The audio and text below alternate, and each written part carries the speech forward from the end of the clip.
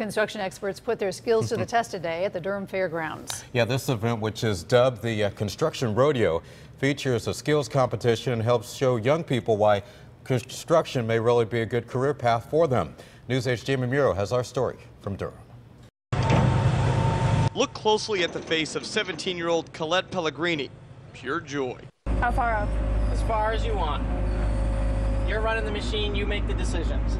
Colette is getting an education that no textbook can rival. Not bad.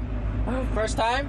Yeah. Hands-on experience on what it's like to work in construction. I want to be an engineer, so the construction is really um, a lot of the stuff that you really need to know about. Now in its second year at the Durham Fairgrounds, a Construction Pro Rodeo sponsored by Associated Builders and Contractors is giving more than 1,000 high school students So this is how you guys stay up and don't worry about falling?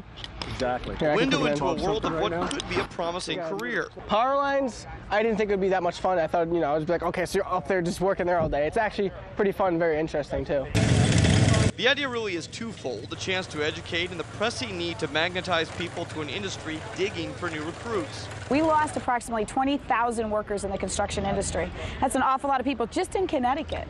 So as we come out of this, and we're coming out of it quicker than we expected, we are already finding a worker shortage. How do I get it down? As children, many of us stare in sheer joy by just looking at heavy machinery, imagining what it would be like to be in command of a hungry metal beast attacking dirt.